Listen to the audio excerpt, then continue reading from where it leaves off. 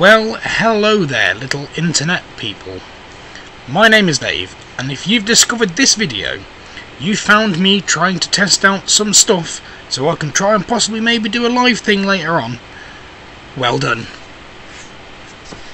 So hello, yeah, I've downloaded OBS um, with the intention of trying to do maybe a live stream at some point. Uh, I've got a bit of hair stuck uh, to my head. There we go. Um, so you're going to notice this is going to be a little bit wobbly, and that's because I'm using my laptop, and my laptop's on my lap, so, you know, hence the term laptop. But we've got some little stunning effects like this. Oh, whooplash! Do you see that? That was alright, that was. I mean, let's go back to here. Oh, whooplash! Yeah, I've got no idea why I'd actually need that. Um, but look, we've got little little social media things at the top there. You know, you've got your, your, your Twitter twatter, and you've got your um, your YouTube bit, which is possibly where you're finding this video. If you're not, you're finding it on Twitch, and I've never used Twitch before, so I don't know what that is. I mean, I've had Twitches, but never done it. But the reason we're doing this is because it's been a long time since I've done a Games of Yesteryear. And that's exactly what we're going to do. So we're going to load up what are the games we're going to play. That is not what we wanted to do. I uh, skipped through multiple screens there. Still getting the hang of this bullshit. This is what we want. It's got a Sega startup screen. It's got a Sonic Team Presents. It can only be, yeah, it's that little blue gobshite. It is Sonic. The Master Drive.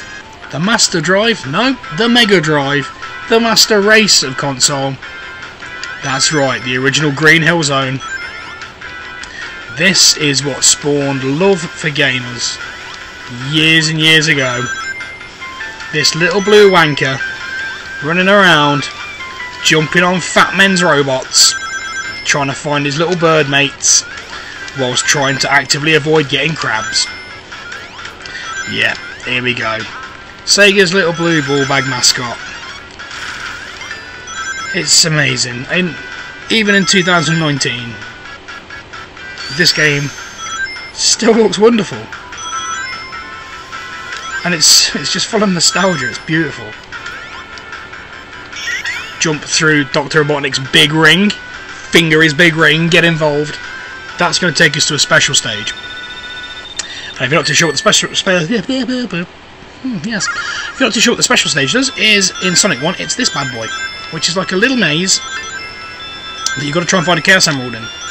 There it is. And when I say find, you've got to try and find it. Not that it was hard. You've also got to avoid going into the goal area like that. Um, so don't do that, because that ends the special stage, and you then cannot collect said Chaos Emerald, which in Sonic 1 I don't remember actually having anything to do with the game. I think last time I sort of Chaos Emerald, or I collected all Chaos Emeralds, was Sonic 3, and you turned into Hypersonic, which was a super yellow version of this little blue bastard that also hated fat men and wanted to destroy all his little robots. Um, I think that's the first time in about 20 years I've actually made that jump, so proud of myself uh, down here. I mean, this was nothing like uh, Sonic 2 on the Master System.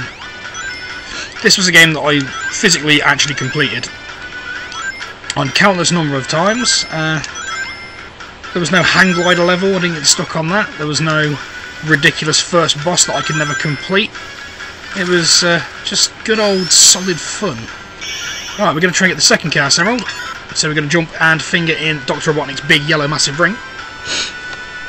Uh, it's going to take us to the second special stage, which, if I remember correctly, was a little bit difficult. Here it is.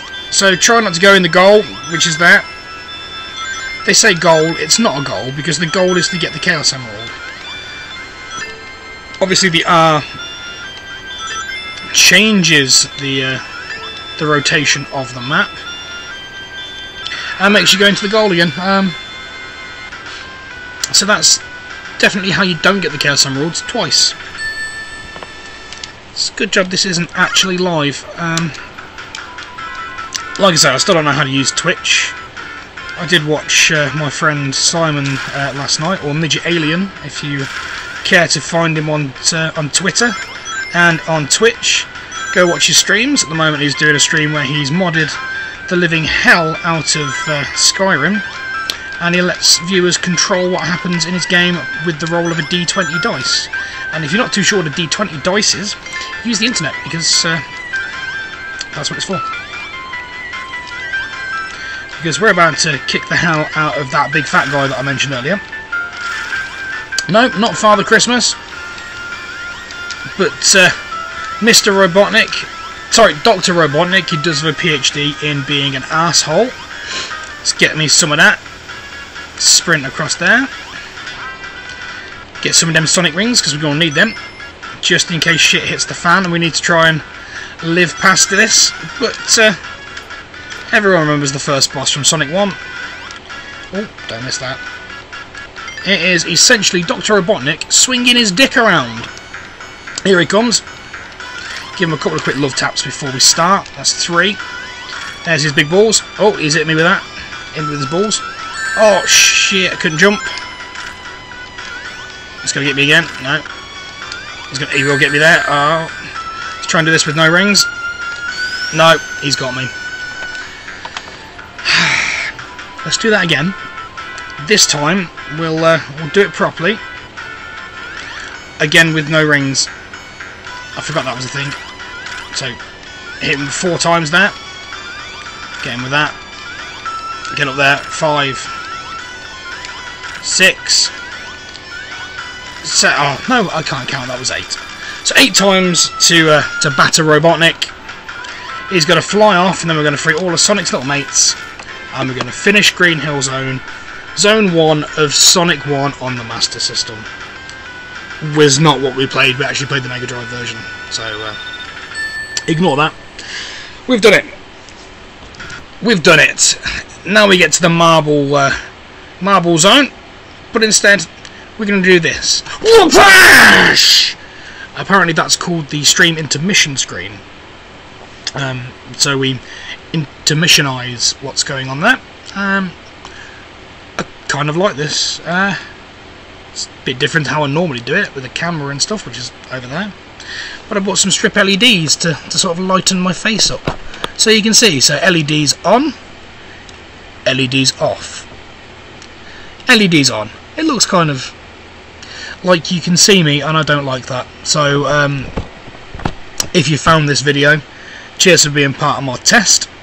If you haven't found this video, then I'm not addressing you because there's no point. Uh, in that case, tatty bye!